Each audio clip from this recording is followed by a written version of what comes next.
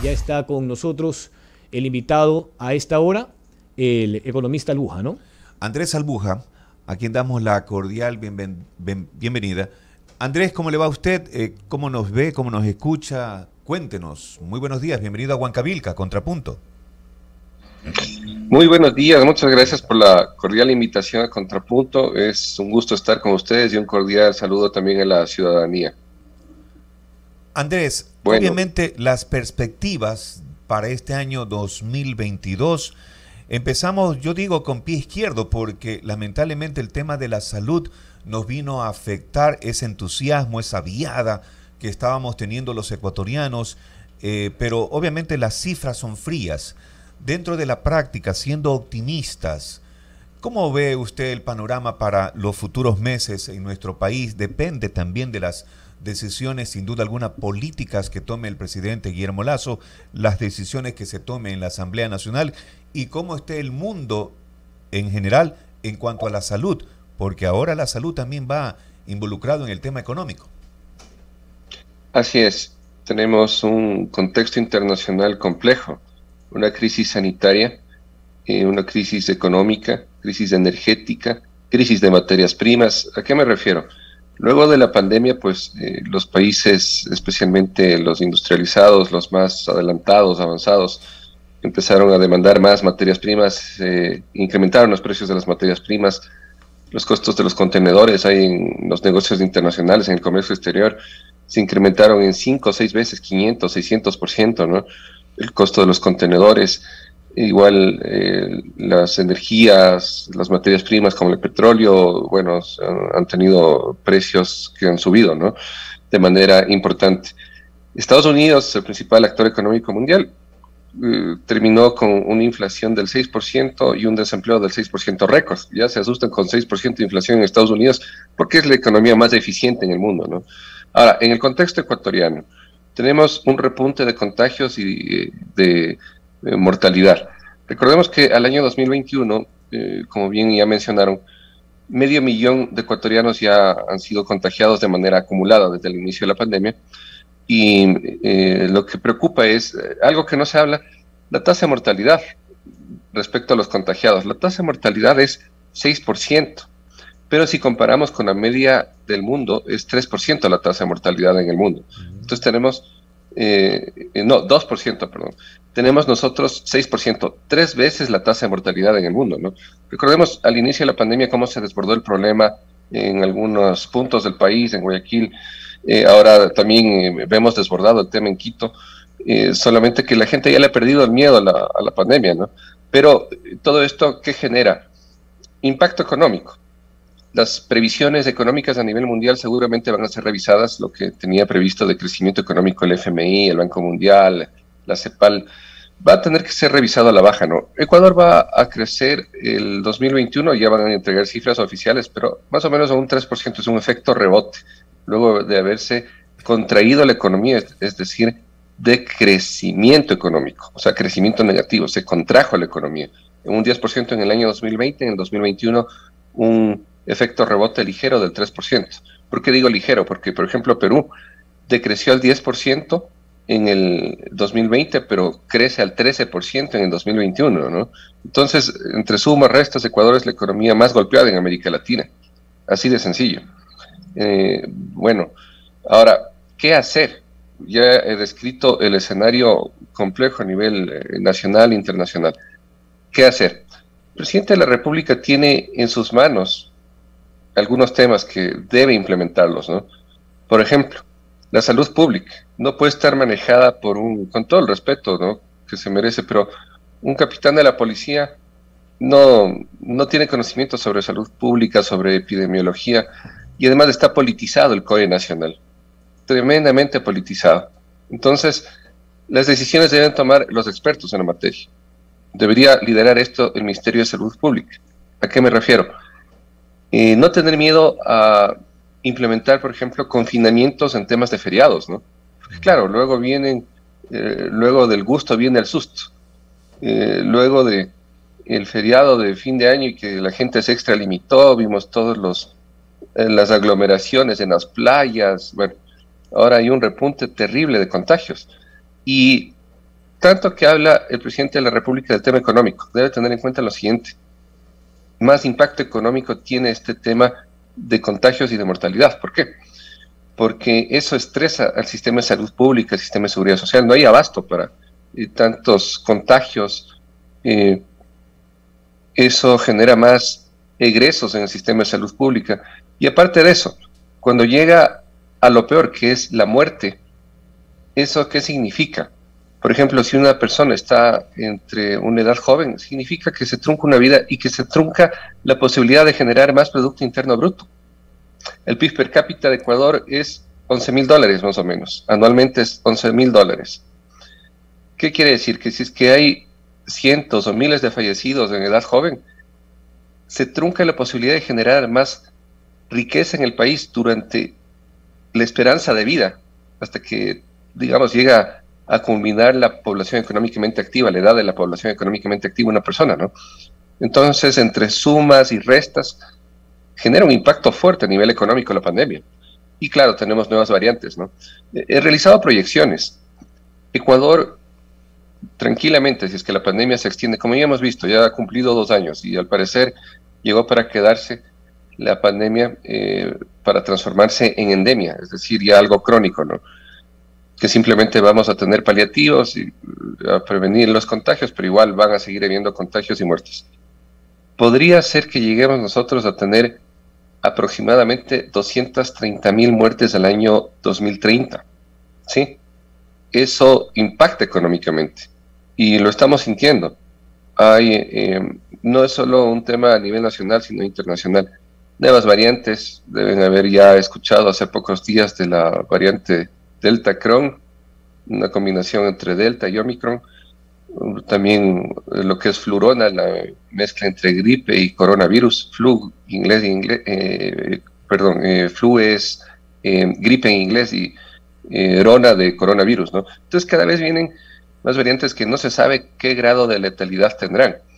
Pero en todo caso, siendo objetivos, debe cambiar de rumbo el presidente de la República tomando las decisiones correctas. Voy a dar unas medidas sencillas, ¿no? Que lo implementen en otros países. Por ejemplo, estimular la educación virtual, estimular el teletrabajo. No sé por qué se desespera la ministra de Educación por una presencialidad cuando se puede hacer educación en línea. Y eso mejora la, la cuestión de eh, los contagios, ¿no?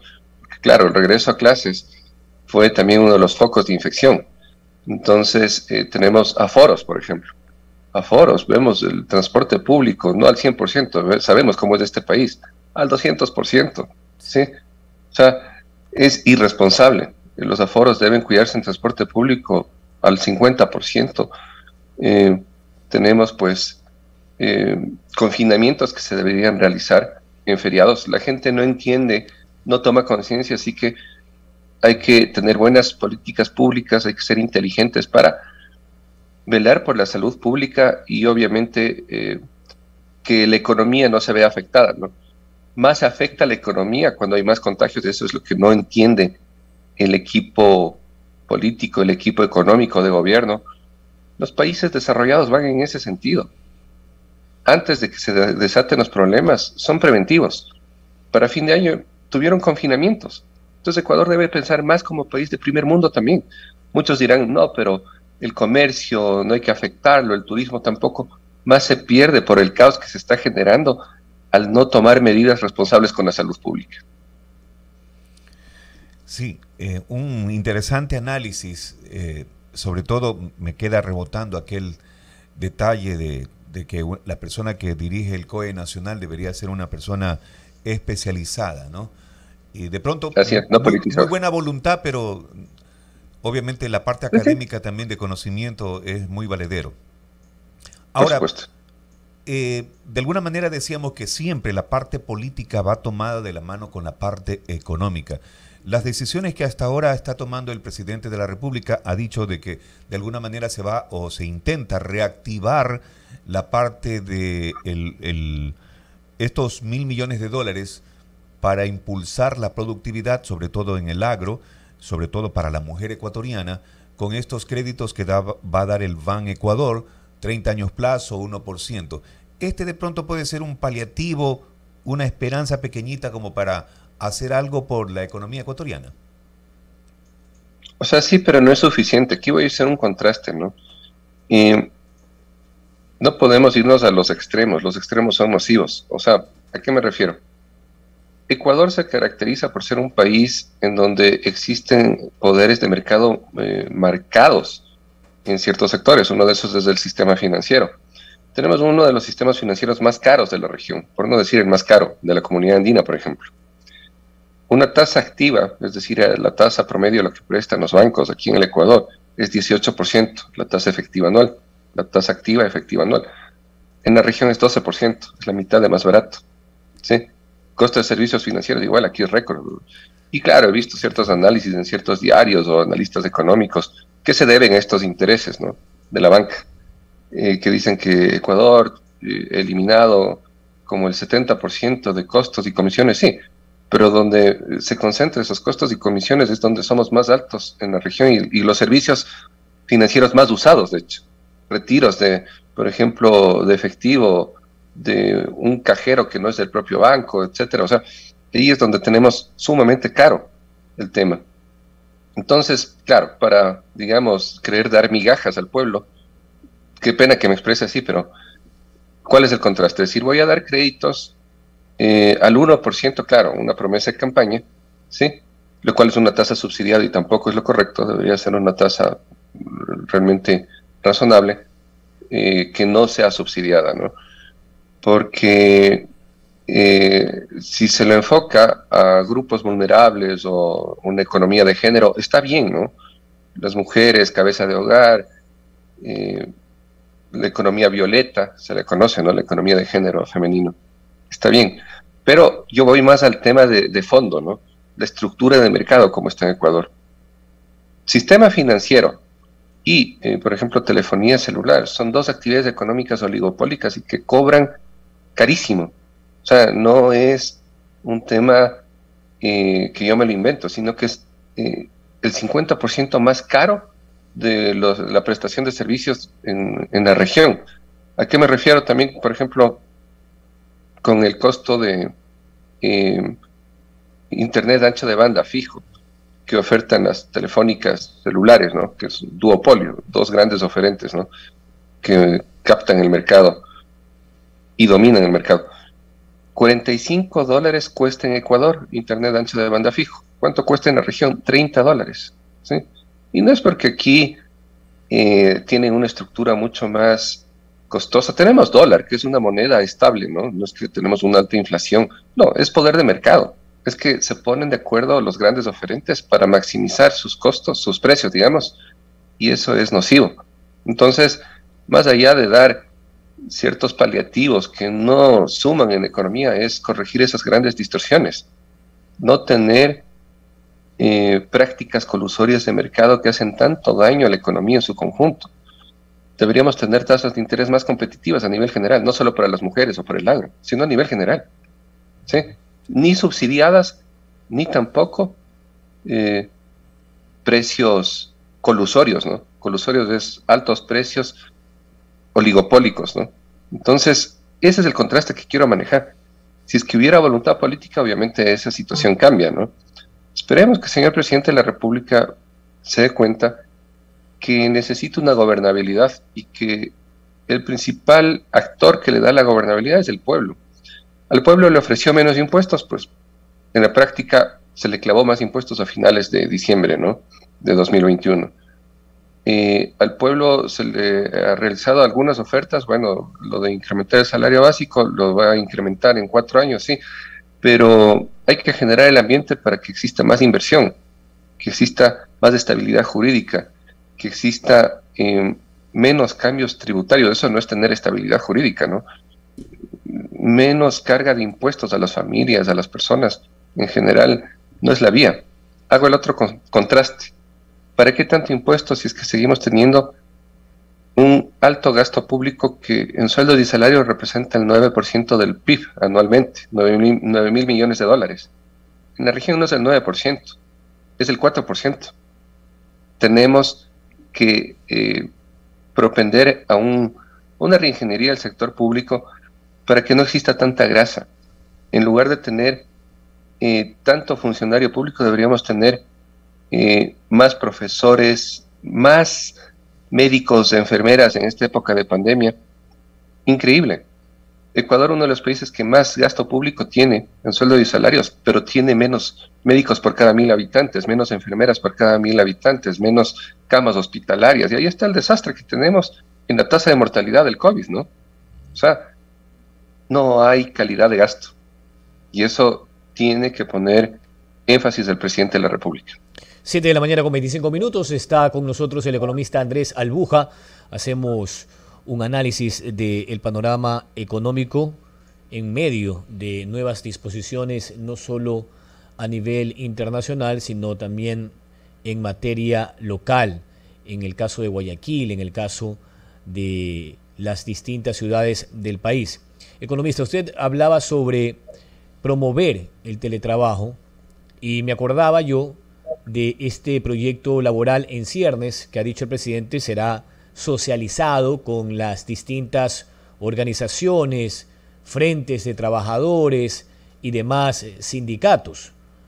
Pero, ¿en qué medida se puede contemplar aquello si no hay certidumbre en torno a la pandemia? O al menos cuáles deberían de ser esos contenidos para que esa también oferta de campaña de generar cerca de 2 millones de empleos en los cuatro años de gobierno sea factible, porque sí, nos ha hablado el presidente de un poco más de 270 mil plazas creadas en estos primeros 7, 8 meses de gobierno, pero aquello no llega ni al 15%, menos incluso, de lo que él ofreció, de estos 2 millones de puestos o de nuevas plazas de trabajo. ¿Debe de haber en ese proyecto de ley, más de la flexibilización, quizás incentivos tributarios para nuevas contrataciones? Por supuesto, esa es la vía. Que las empresas que contraten más personal tengan eh, un tratamiento impositivo eh, diferenciado como, como, estímulo, ¿no? Entonces, eh, en ese sentido, ¿va? hay una relación inversa entre lo que es la carga positiva, impositiva, frente a inversión extranjera directa. Y recordemos que la inversión extranjera directa, el beneficio que puede traer en un país, en una economía, es dinamizar la economía, generar más fuentes de empleo, etcétera, ¿no? Pero ¿qué pasa? Ecuador es el país más caro en impuestos en la región, es donde más creció la recaudación tributaria como porcentaje del PIB en los últimos 15 años, creció al 2.5% del PIB en promedio. En la región creció al 0.8% nada más, es decir, Ecuador es donde más se estresó a nivel tributario a la economía en su conjunto, ¿no? Listo. Veamos cuál ha sido la inversión extranjera directa promedio en los últimos 15 años. 1% en Ecuador. ¿Cuál es el nivel de inversión extranjera directa como porcentaje del PIB en países vecinos? 4, 5%, es decir, 4 o 5 veces más, ¿no? Entonces, por eso es que tienen mejor desempeño económico Colombia, Perú, nuestros países vecinos. Es porque eh, nosotros no sabemos explotar algo que es positivo, por ejemplo, el tema monetario, que nos da estabilidad macroeconómica, evitar el tema inflacionario, ¿no? Pero le cargamos de mucho impuesto a la economía. Eso hace que no despunte la inversión, el nivel de inversión, eh, y que no venga más inversión extranjera. Y es más, algo peor, que la paupérrima inversión local que existe se ha fugado a países vecinos, ¿no? Doy nombres, ¿no? Por ejemplo, Pinto se fue a establecer en, en, Perú, por ejemplo, ¿no? Y muchas empresas que se han ido a establecer en, en Colombia, en Perú, en nuestros países vecinos, ¿no?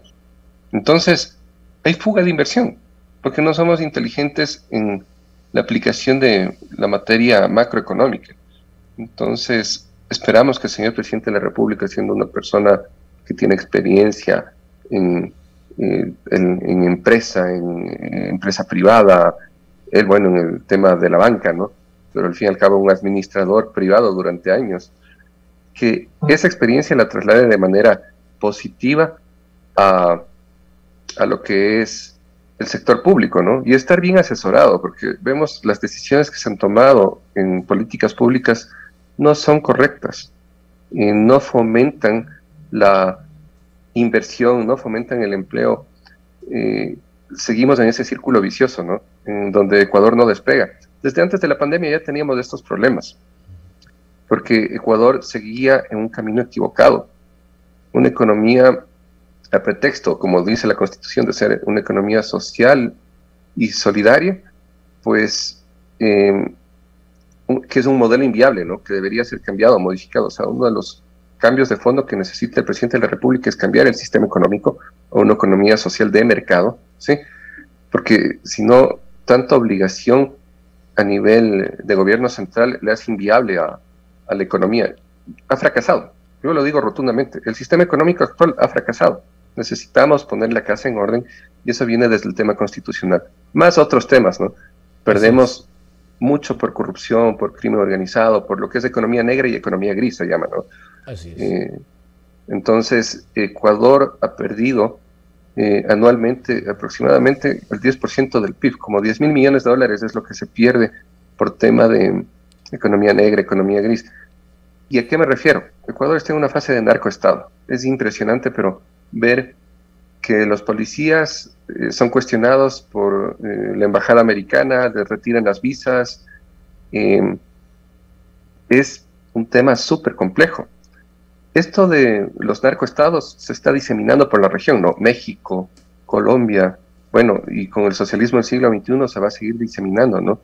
Chile, Perú, Ecuador, ya se contaminó hace varios años con el gobierno del socialismo del siglo XXI. Lo que estamos viviendo ahora son las consecuencias. Pero, ¿qué necesitamos? Una reforma constitucional. Que el artículo 5 de la Constitución que habla de eh, la cooperación internacional y que se prohíben las bases extranjeras. Por eso se expulsó la base de Manta en el año 2009, 2008, 2009, por esta constitución de Montecristi, que dio carta abierta para el narcotráfico, el crimen organizado. Entonces, necesita tomar, como se dice, ¿no? En el pueblo, el argot popular, al toro por los cuernos y necesitamos combatir al narcotráfico, al narcoestado, con cooperación internacional. Ecuador no puede solo, no tiene ni los recursos eh, físicos, tecnológicos, humanos, eh, y ahí necesita la cooperación de Estados Unidos, de la Unión Europea, para ser un aliado estratégico y que pueda Ecuador insertarse en esa lucha contra el narcotráfico y dejar de ser un país eh, considerado como narcoestado. Imagínense que hasta la cúpula policial está inmersa en estos temas de narcoestado. Sabes que se ha contaminado la institucionalidad. Así es. Eso es gravísimo. Y tiene que haber esa voluntad política para llegar a una consulta popular.